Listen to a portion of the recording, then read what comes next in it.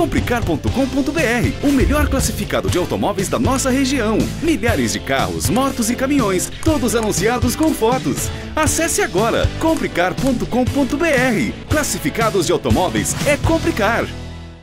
Mais um super esportivo que eu, Jorge Augusto, trago para avaliação completa aqui no YouTube do Comprecar TV. Olha só, agora trouxemos para vocês o CLA 35 da linha AMG. Está acompanhando o nosso trabalho?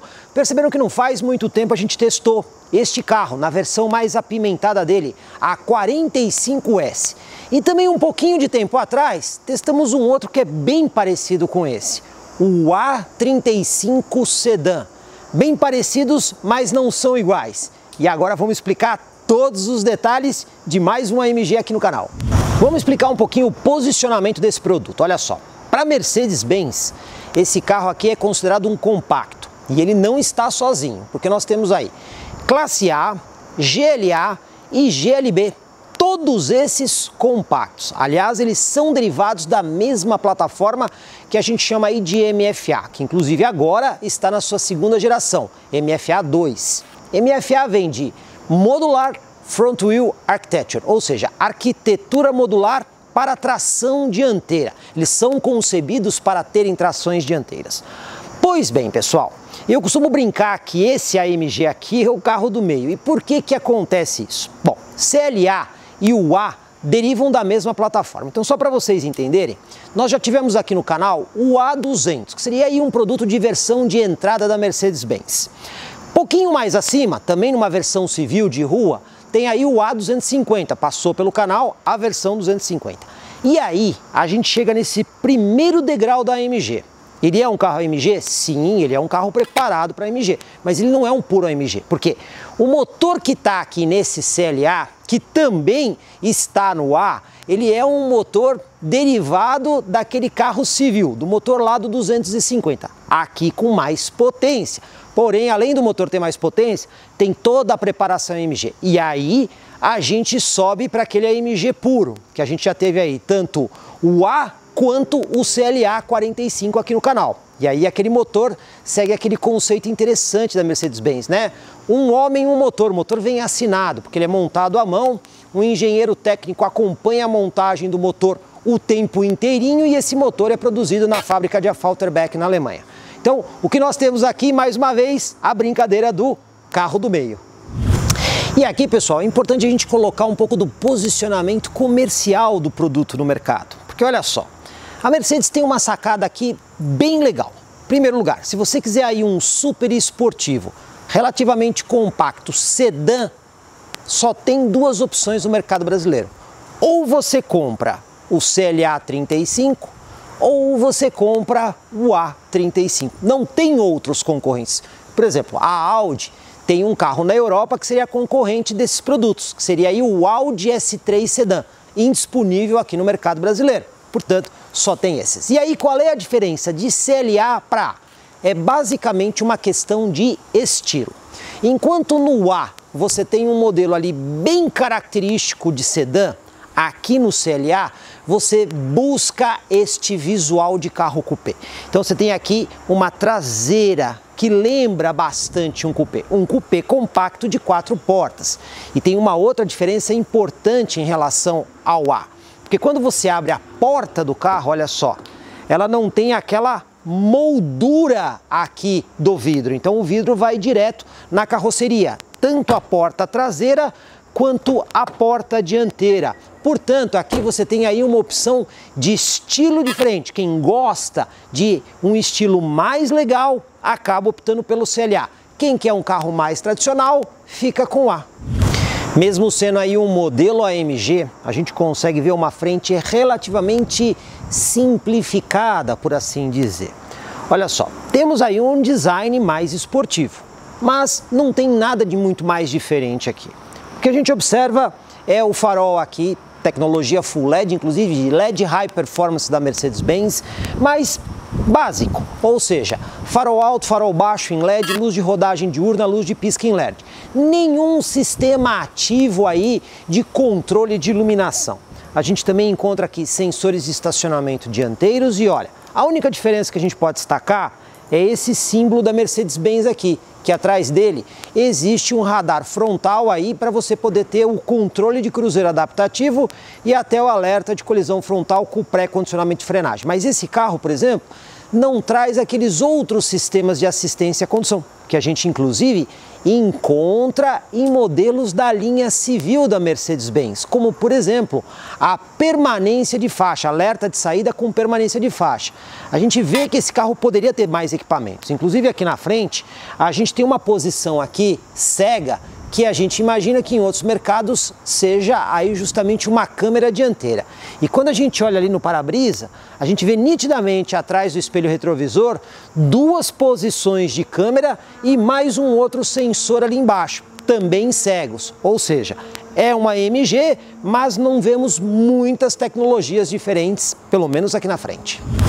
Motor de MG sempre tem história legal para contar e aqui é um pouquinho diferente. Pessoal, aqui nós temos um motor 2.0 litros turbo, sistema de injeção direta, duplo comando variável, tanto de admissão quanto de exaustão, comando acionado por corrente. Código desse motor, M260. É um motor AMG? Não. É o mesmo código de motor que a gente tem, por exemplo, lá na A250. Inclusive, vale a pena dar uma olhada naquela matéria que a gente tem no canal. Inclusive, este mesmo motor aqui, além de equipar a 250, você também encontra ele em modelos como a C300 e a GLC 300. Mas lá eles vão ter um código um pouquinho diferente, porque aqui, como vocês estão vendo, a montagem é transversal do motor. Quando ele é montado longitudinalmente, que é o caso da C e a GLC, o código do motor muda, porque mudam algumas coisas no motor, mas o projeto engenharia é o mesmo. Então, olha só, Lá na A250 são 224 cavalos, na C300 são 258 e aqui com a preparação AMG ele vai a 306 cavalos de potência. Torque máximo dele 400 Nm, ou seja, um pouquinho mais que 40 kgfm de torque. É um conjunto muito bom de motor. E ele está associado àquela transmissão robotizada de dupla embreagem da Mercedes-Benz, que a gente chama aí de 7G DCT. O DCT vem de Dual Clutch Transmission. Aliás, é uma robotizada dupla embreagem banhada em óleo.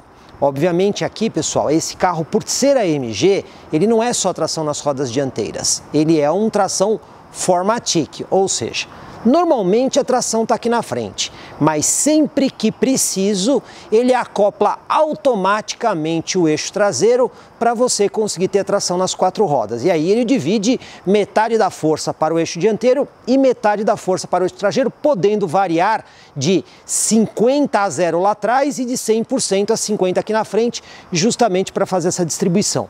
O conjunto é muito eficiente. Segundo a Mercedes-Benz, carro vai de 0 a 100 em apenas 4,9 segundos. E a velocidade máxima é limitada eletronicamente em 250 km por hora. Agora, a AMG prepara só a potência do motor? É claro que não. Ela prepara o carro inteiro. E aqui mesmo no cofre do motor a gente consegue ver uma outra diferença. Vocês estão vendo essa barra aqui, ó, inclusive com a assinatura AMG, ela conecta aí a parte superior das duas torres dos amortecedores. E ela está aqui justamente para dar melhor rigidez torsional ao conjunto de um carro. Então, a gente sabe que apesar do carro ser uma estrutura metálica, ele sofre algumas torções em situações mais extremas. E essa barra aqui ajuda a criar uma maior estabilização e com isso você tem um conjunto dinâmico mais preciso. Aqui pelo lado tem algumas coisas legais para a gente contar. Eu já vou começar falando do visual, né? Que lembra aí um veículo coupé. Lembra que eu disse que ele é parecido com o Classe A sedã, mas tem aí as suas diferenças? Vamos começar pelo fato onde eles são exatamente iguais. Olha só, os dois carros têm exatamente o mesmo entre-eixos. 2.729 milímetros, ou seja, praticamente 2,73 metros 73, mas tem diferenças. Esse daqui tem 4 metros e 69 de comprimento. Já o classe A sedã tem 4,55. A largura desse 1,83m. O classe A sedã 1,89m. A altura desse aqui 1,42. Já o classe A sedã 1,43. Como vocês estão vendo, ainda que a mesma plataforma seja utilizada, até a mesma motorização, quando a gente fala de CLA 35 para A35 sedã, existem diferenças estruturais no carro, além do próprio visual. E tem mais algumas coisas aqui que saltam aos olhos, começando pela altura em relação ao solo. Vocês conseguem ver que o carro é efetivamente bem baixo, quer seja ali no meio, aqui na frente, ou até mesmo o vão que a gente tem do pneu ali em relação ao arco de roda. A gente imagina que deve ser bem complicado lombada, valeta e buraco. A gente vai testar isso, né, pessoal? Olha só, pneus aqui. 245 de largura, perfil 35, perfil bem baixo mesmo, tem que tomar bastante cuidado com esse pneu. E aqui a roda em liga leve, aro 19 polegadas. Aliás, rodas bem bonitas. Outra coisa aqui que também se destaca, os freios, né? Você está vendo aqui um enorme freio aqui na frente. Detalhe, né? Freio a disco ventilado e perfurado. E olha o tamanho dessa pinça aqui na frente. E lá atrás também freio a disco, também ventilado e perfurado, ou seja, sistemas de freio dignos para parar um carro super esportivo. E tem algumas coisas que a gente não vê. Suspensão totalmente independente, óbvio. Aqui na frente é do tipo McPherson e lá atrás é multilink, aquele sistema multibraço que garante aí uma boa estabilidade. Agora, todo o ajuste dessa suspensão feita para um carro super esportivo. Portanto, ele é duro e ele é baixo. Outro ponto que merece atenção é esse teto solar panorâmico. Mesmo com toda essa curvatura aí de teto que acaba complicando a instalação aí de um teto solar, a Mercedes conseguiu colocar a peça. Como vocês estão vendo, nós temos aqui um vidro bastante curvo, que mesmo assim ele ainda pode ser aberto. Evidentemente que ele pega uma boa parte do teto, não chega a pegar completamente aqui a parte traseira, mas como vocês estão vendo, a gente tem o recurso que não só permite entrada de luz, mas também abre. E vamos combinar, nem fica tão estranho no carro, considerando todo o design que a gente tem aqui. Aqui atrás é onde mais percebe essa assinatura visual AMG. A gente tem elementos interessantes aqui. Eu vou começar falando da iluminação das lanternas, que é totalmente em LED. Aliás, tem um visual bem bonito, né? Um design interessante, dividido uma parte na carroceria, a outra parte no, na tampa do porta-malas. Mas o que chama mesmo atenção é esse visual de para-choque, bem agressivo, bem esportivo, dupla saída de escapamento. A gente também tem esses elementos aerodinâmicos aí no meio do para-choque caracterizam bem aí a versão super esportiva.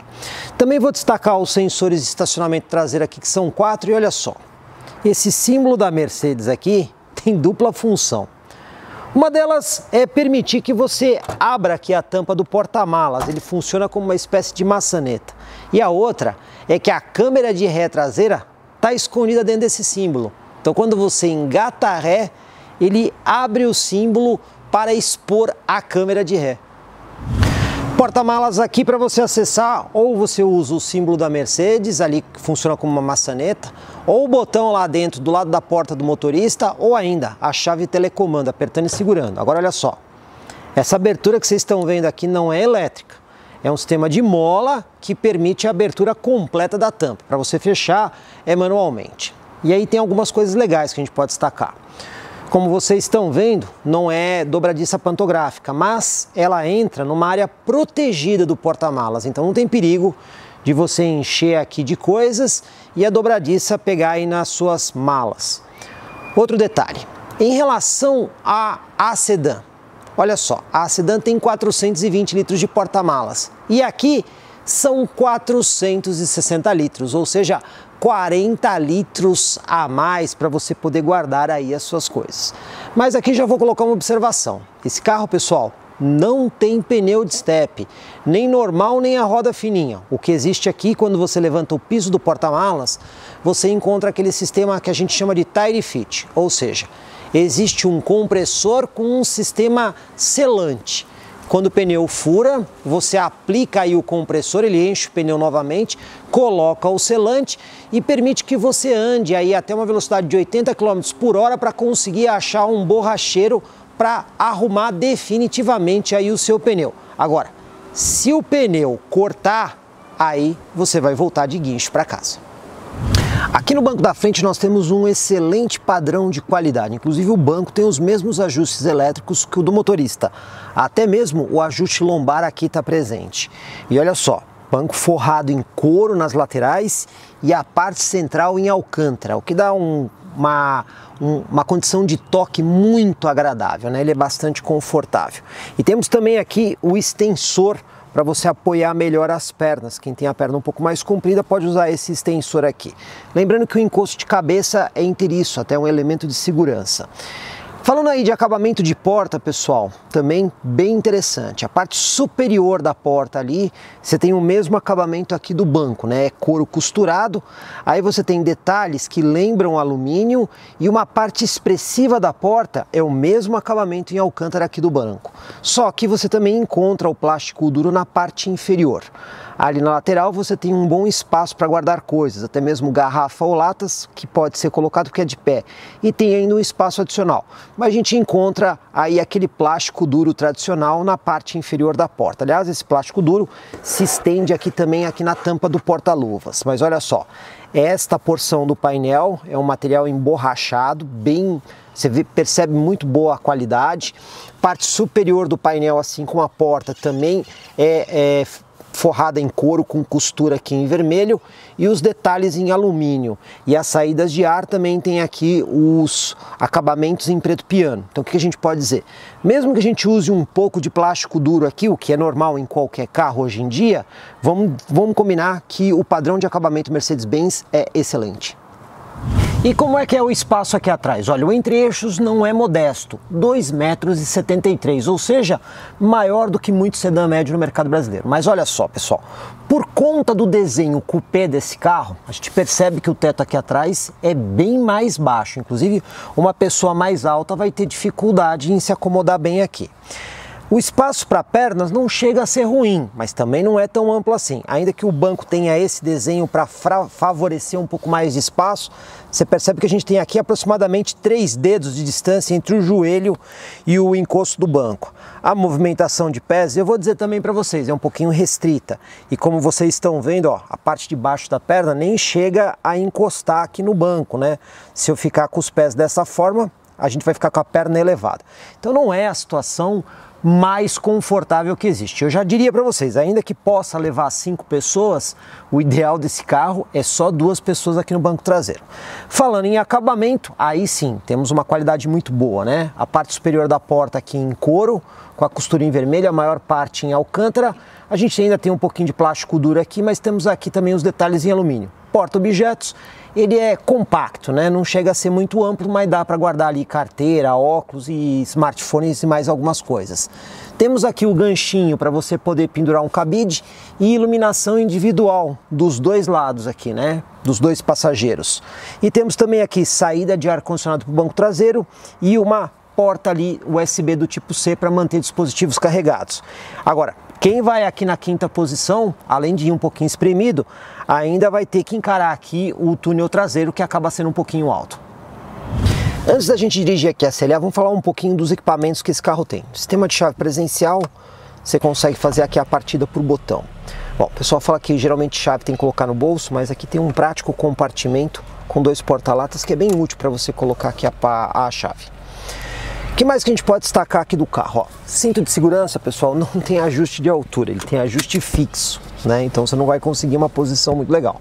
Agora, o banco do motorista e o do passageiro, eles têm as mesmas configurações de ajuste, inclusive são elétricas e você consegue fazer o ajuste aqui pela porta. Então você tem aqui inclinação do encosto, a distância do conjunto, a altura de todo o conjunto e a inclinação do assento três posições diferentes de memória aí para achar a posição mais ideal.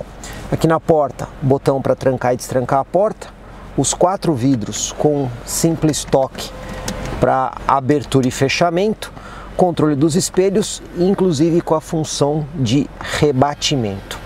Aqui na porta também a gente tem o um botão para poder comandar a abertura da tampa do porta-malas. Aqui lado esquerdo do painel, tem o botão justamente do acionamento do freio, freio de mão, que agora aqui virou um botão, né? Você também tem aqui o controle dos faróis, controle do farol de neblina traseiro e o dimer do painel, tá pessoal? Então esse dimer aqui, quando o farol está ligado, você faz aí o controle.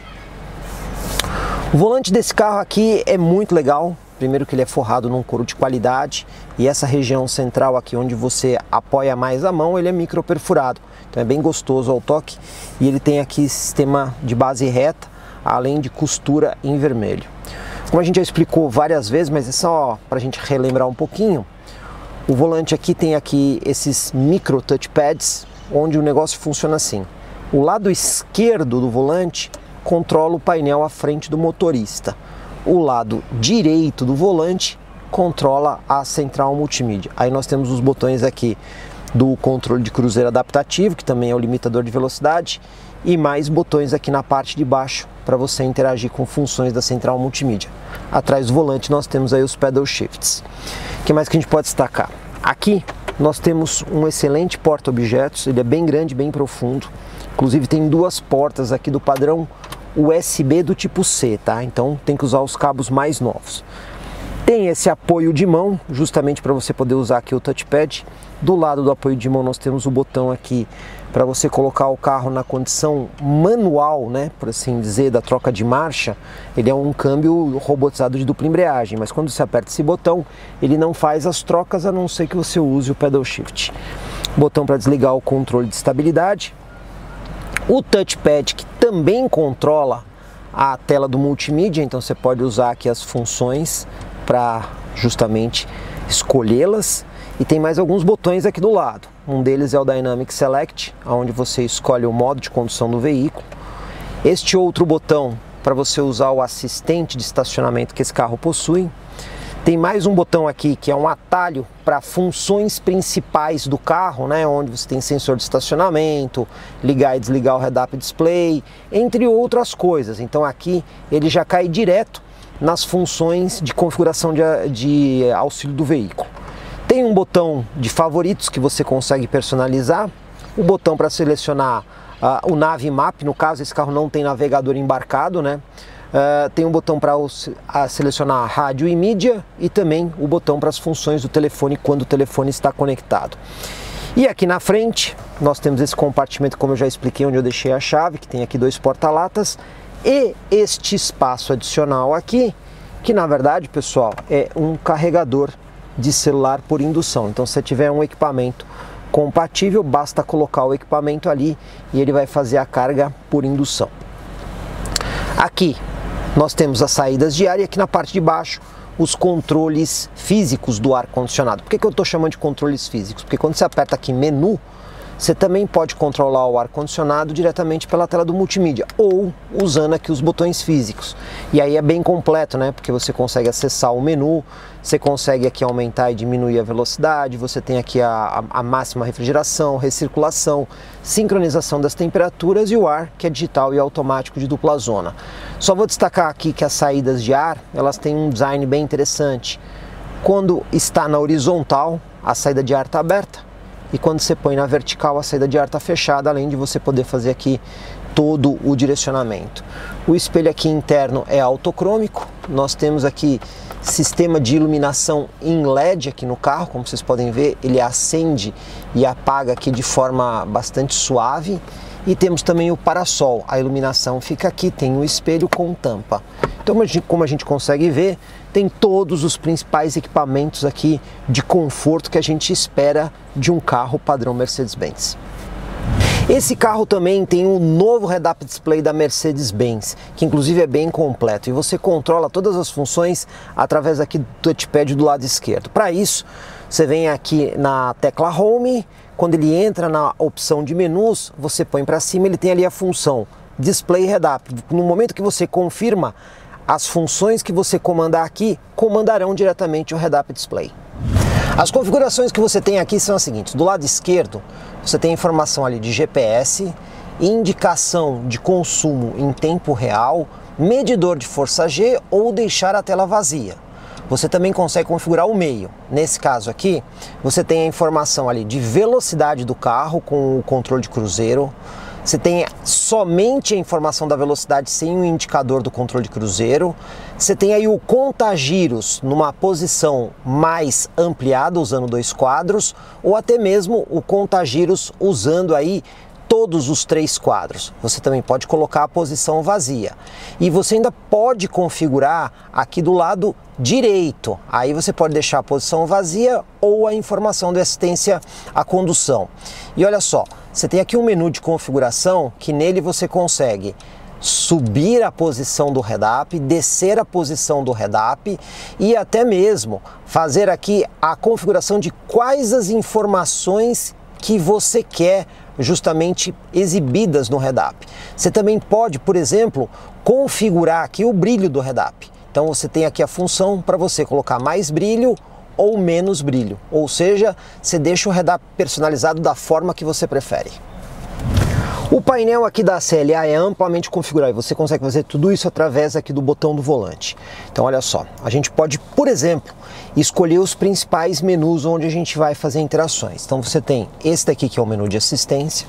Um menu bem interessante é esse aqui de performance, onde você consegue dados como, por exemplo, aqui temperatura do óleo e transmissão. Você tem aqui a medição da potência e torque em tempo real, mais a pressão do turbo, configuração do modo de condução que você está utilizando ou até mesmo indicador de força G. Outro menu legal que você tem aqui, além de computador de bordo, acesso ao rádio, mídias, é esse que você consegue configurar o estilo do painel. Esse que vocês estão vendo é o clássico. Temos esse aqui que é o estilo esportivo, inclusive quando ele muda o painel à frente do motorista, ele também muda o tema da central multimídia. E você tem outras opções. Então você tem aqui um outro menu que é um visual, por assim dizer, mais esportivo, e aí ele muda bastante o visual do painel, como vocês estão vendo.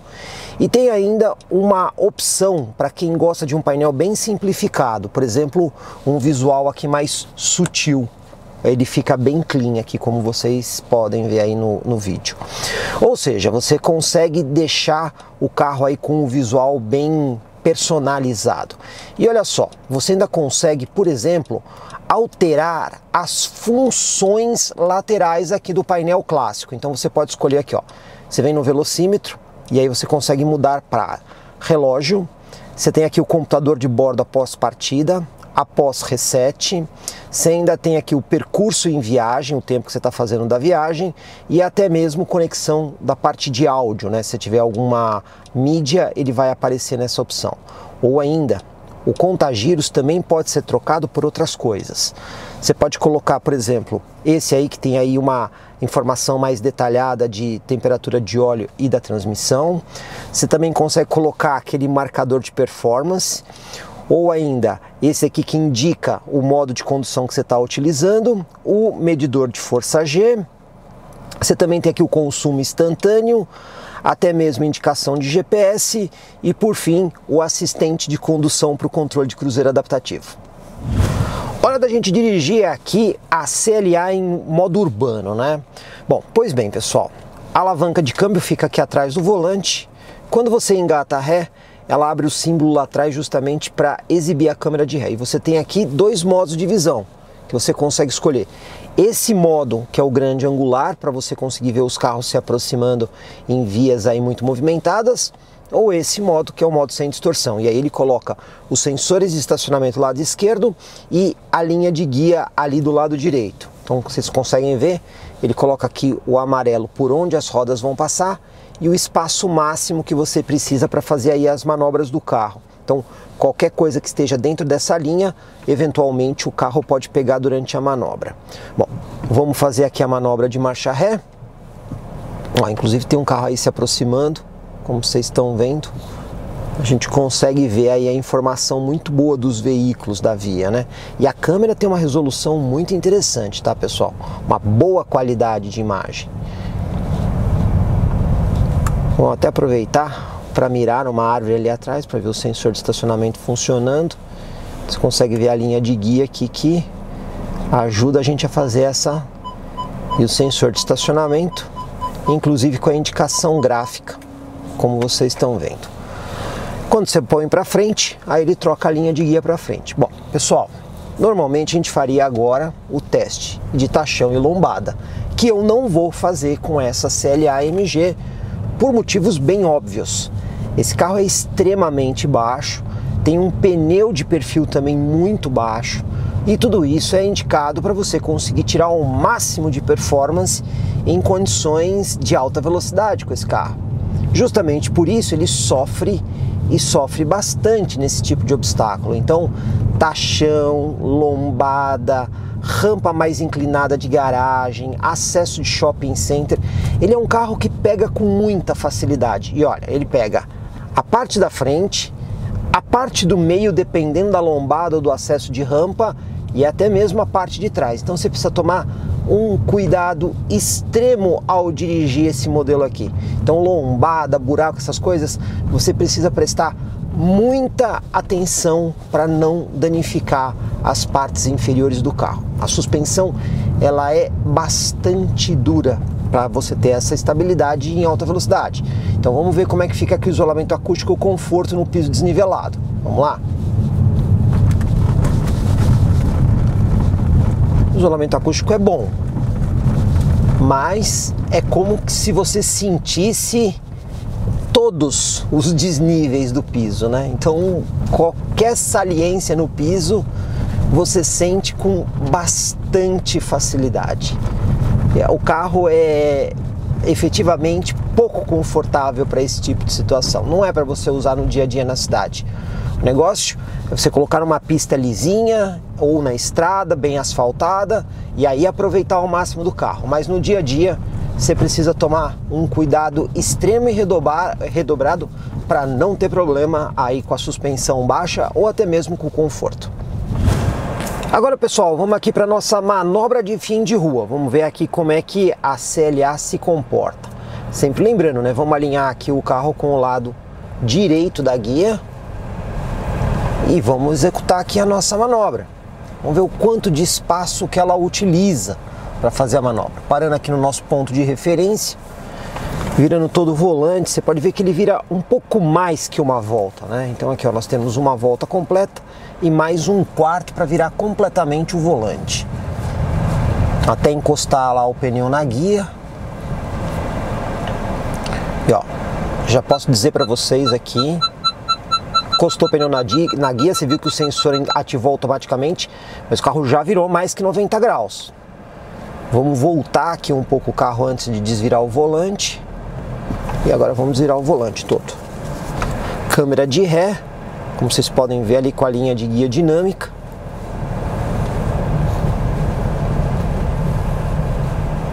E olha pessoal, saiu um pouquinho aqui deslocado para a esquerda, não completamente centralizado com a rua ainda que para Mercedes-Benz isso aqui seja um veículo de categoria compacta, a gente pode dizer que para os padrões brasileiros ele está aí na categoria de sedã médio, o que faz bastante sentido com o espaço que ele acabou utilizando aqui na manobra de fim de, de rua.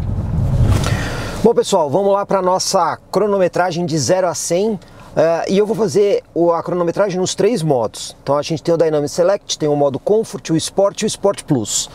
Eu vou primeiro começar no Comfort. Inclusive a gente mudou aqui o painel para condição super esportiva. Então o, contagiros ao centro, velocímetro à esquerda, indicador de força G e aqui na central multimídia a gente tem ali a indicação de potência e torque do motor. Vamos fazer a nossa largada estolada e vamos ver como o carro se comporta nos três modos. Então vamos lá, carregando o carro e primeiro no modo Comfort.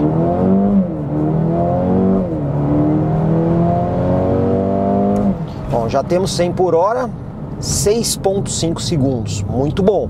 A gente percebe que o carro está mais manso nessa situação. Agora vamos fazer aqui o teste no modo esporte para ver como é que o carro se comporta, sempre com a nossa largadinha estolada. Vamos lá?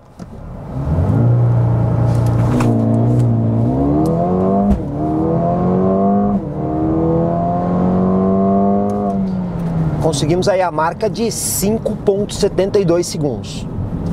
Agora vamos testar aqui no modo Sport Plus ou Sport Mais. Lembrando que quando a gente coloca no modo Sport no Sport Mais, ele sai aqui com o controle de largada. Inclusive o painel faz essa indicação. Vamos lá? Olha só e vamos lá.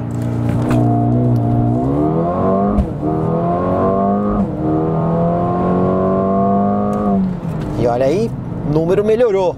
conseguimos aqui 5.5 segundos no 0 a 100. Agora, pessoal, o que, que, eu vou fazer? Eu vou desligar o ar-condicionado. Vocês vão perguntar por que, que a gente não faz sempre com o ar-condicionado desligado? Porque a maioria das pessoas sempre vai usar o carro com o ar-condicionado ligado. Por isso que a gente cronometra com ar ligado. Mas até para a gente tirar a dúvida, vamos ver aqui como é que fica o modo Sport Plus com o ar-condicionado desligado. Vamos lá instalar o carro e vamos lá.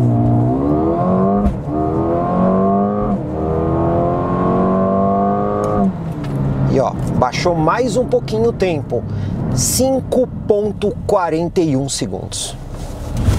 Hora da gente fazer a parte mais legal aqui da CLA AMG, ir para a estrada. É justamente onde você consegue aproveitar mais desse veículo, né? Bom, pois bem, pessoal, vamos começar dirigindo de forma suave, até porque esse carro aqui tem os modos de condução que você consegue escolher vários, né? Eu vou colocar aqui no Comfort, justamente para essa condução mais suave, para a gente ver como é que é o dia a dia do carro. Bom, pois bem, pessoal, eu já vou dizer para vocês que a suspensão, como na parte urbana, na estrada, ela também é bastante firme, bastante dura, característica de carro esportivo. Entretanto, você sente muito menos, né? Se a estrada for boa, que é o caso aqui que a gente está pegando, você vai sentir menos isso. Mas é uma suspensão típica de carro super esportivo, até porque é um carro com alto desempenho. E já vamos aproveitar aqui para ver a velocidade em função de rotação do carro. Para isso, pessoal, a gente tem um botãozinho aqui perto do console. Quando você aperta ele, você coloca o câmbio verdadeiramente em modo manual. Ele para de fazer as trocas automáticas. Inclusive, você usa aí os pedal shifts atrás do volante justamente para escolher aí a sua marcha. Então vamos lá. Primeiro 100 km por hora e vamos ver aqui a rotação. Olha só, eu diria ali 1.800 giros, a rotação bem baixa. Agora vamos acelerar aqui para 120. Vocês podem ver que eu estou acelerando, ele não está reduzindo para sexta marcha porque eu estou com o câmbio em modo manual. Chegando aqui a 120, olha, a gente tem aí um pouquinho acima de 2.000 giros, talvez 2.100, 2.200 giros, o que é uma rotação relativamente baixa aí para o motor.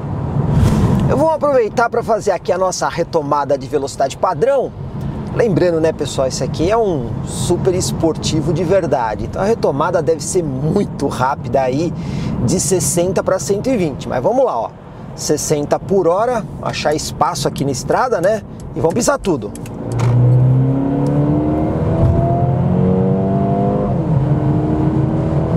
...120. Foi bem rápido, né? Moral da história, desempenho não é problema. Outra coisa muito legal nesse carro é a possibilidade de você configurar várias coisas do painel, mesmo com o veículo em movimento e sem distrair muito a atenção. Você tem aqui o botão no volante para você acessar a tecla Home e escolher várias funções aqui. Mas certamente este menu aqui é o mais legal, porque você consegue ver informações de performance do carro.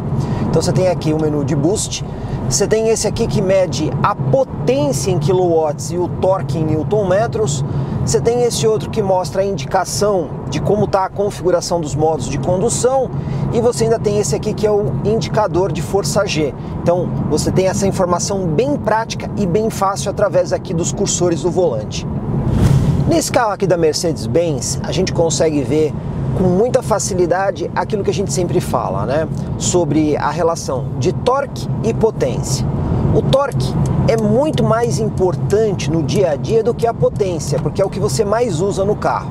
E com esses medidores aqui, tanto no painel quanto na central multimídia do uso instantâneo, a gente consegue ver bem isso. Então, por exemplo, eu estou aqui numa leve subida na estrada, vocês estão vendo que eu estou numa velocidade bem moderada. Olha só, qualquer toquinho que eu dou no acelerador, olha só, o torque já vai quase ali a 50% do torque do motor, enquanto a potência está bem baixa. Então quando você faz retomada de velocidade, quando você faz aí uma aceleração, olha só, carregar um pouco mais aqui no acelerador, você percebe que você usa sempre mais torque do que potência. Então a potência ela é muito mais usada em velocidade final, mas a retomada e aceleração é o torque. Bom, pessoal, aqui a gente tem duas opções. Você pode usar aqui o limitador de velocidade. Então você programa aqui a velocidade máxima ali, eu acabei de programar 110 e aí quando você acelerar, o carro só acelerará até a velocidade que você programou. Agora, se for uma situação de emergência e você quiser passar do 110 por uma ultrapassagem alguma coisa, basta dar o kickdown. Aí o que, que ele faz? Ele cancela momentaneamente a instrução, pisca para indicar que você passou da velocidade, você tirou o pé, voltou, ele volta a funcionar normalmente. Usando o botão aqui do volante, pessoal, você pode alterar a função de limitador para o controle de cruzeiro adaptativo, ele já está ativado. Aí você programa a velocidade que você quer. Aqui no caso, nós temos uma estrada que a velocidade máxima permitida é 120 km por hora. Você também consegue escolher aqui a distância que você quer em relação ao veículo da frente, maior ou menor. Eu vou colocar aqui na menor. E olha só, pessoal, ele já identificou o carro que está indo na nossa frente, como vocês estão vendo. A gente está numa velocidade abaixo dos 120 km por hora, porque o carro está na velocidade mais baixa. E ele está mantendo a distância de segurança que eu escolhi, que é a mais próxima.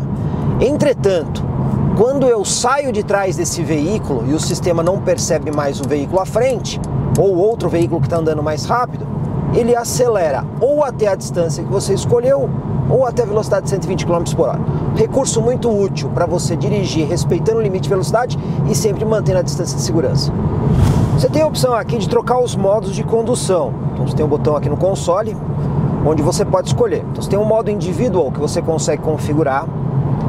Pista escorregadia, esse daqui é bem útil para quando está chovendo ou está numa situação aí de piso de paralelepípedo ou coisas do tipo, né? Então ele deixa o carro bem mais manso, pedal do acelerador bem menos sensível e trabalha com as rotações o mais baixa possível do motor. Você também tem aqui o modo Sport, esse daqui ele já altera um pouco as características do carro, inclusive ele mostra ali quais são as características que ele está alterando no painel. E você tem o modo Sport Plus. Esse você percebe que o carro fica bem arisco. Só da gente colocar o modo, a gente já percebeu aqui que ele já reduziu marcha, né? Ou seja, você deixa o carro configurado para o seu estilo de condução. E se você quiser mesmo dirigindo, você consegue mudar aqui o tema do painel. Bastante fácil, usando aqui a tecla Home, você vem até essa opção aqui e aí você escolhe o estilo que você quer. Vou colocar nesse aqui que é o super esportivo. Olha só como ele muda completamente o painel. E é bastante fácil você fazer isso, mesmo conduzindo o veículo sem desviar sua atenção. Como vocês viram aí, pessoal, a melhor aceleração que a gente conseguiu aqui com a CLA 35 foi de 5.41. Entretanto, a Mercedes-Benz fala num 0 a 100 de 4.9. Dois fatores podem ter interferido nisso. E olha só. Primeiro, este carro veio abastecido da Mercedes-Benz com gasolina comum. A Mercedes-Benz entrega o carro para a imprensa com esse tipo de gasolina provavelmente, se a gente colocar aqui uma gasolina premium de alta octanagem, isso também possa interferir. E tem mais um outro detalhe. A gente não sabe onde foi feita a medição de aceleração de 0 a 100. Por exemplo, se você fizer no nível do mar, no litoral, onde você tem uma densidade de ar maior, pode ser diferente. O carro tem um melhor rendimento. Então, esses dois fatores podem fazer diferença na hora de baixar o tempo da aceleração. E o consumo aqui, como é que é? Pois bem, aqui pessoal tá a beleza de um modelo como esse, né? Porque ele anda muito bem, a gente viu que tem um excelente desempenho, um motor de mais de 300 cavalos, 400 Nm de torque, não falta potência. É mais do que suficiente para você viver a sua vida normal e ainda aproveitar o máximo do carro. Entretanto, por ser um motor 2.0, não é um motor tão grande assim, ele consegue ser eficiente no consumo. A gente fez um teste na estrada aí, num percurso de aproximadamente 64 km, uma hora de viagem. E a gente conseguiu a média impressionante de 14,1 km por litro. Ah, mas vocês vão dizer, ah, a gente conhece carro que faz média maior do que isso. Verdade. Agora, que vai de 0 a 100 na casa de 5 segundos? Duvido. Então, o que a gente consegue aqui é ter um carro que, quando você anda de forma mais moderada, tem médias bastante interessantes, mas quando você demanda no acelerador, ele não decepciona. E o teste de consumo urbano? Sempre perguntam isso pra gente. Pessoal, eu tenho muita restrição a fazer teste de consumo urbano, principalmente quando nós não estamos num comparativo. E por quê? Você não consegue reproduzir a mesma situação de teste para dois carros diferentes em situações, digamos, parecidas. Porque mudou um pouquinho o trânsito, já vai mudar a condição do teste. Então, não fica justo fazer teste de consumo urbano com o veículo se você não tiver no comparativo submetendo os dois carros à mesma condição. O que eu posso dizer para vocês desse carro aqui, que quando você faz esse uso mais urbano, eu consegui médias factíveis aí na casa de 10 km por litro, mostrando que ele também consegue ser eficiente nessa situação. Agora, tudo isso dirigindo de forma moderada. Pergunta frequente dos internautas é sobre a qualidade do sistema de som do carro. Pois bem, aqui na CLA nós temos um sistema da Burmaster, que a gente consegue ver inclusive em carros de alta gama aí da Mercedes-Benz. Este aqui é mais a linha super esportiva, mas os carros de luxo também usam esse sistema de som.